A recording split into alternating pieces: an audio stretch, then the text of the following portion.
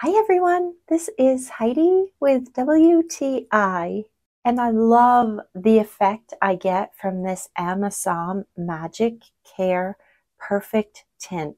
It feels so smooth, it gives a matte finish, and it can be worn alone for a no makeup look or I can wear it under my foundation, which I usually do. It's so simple to apply.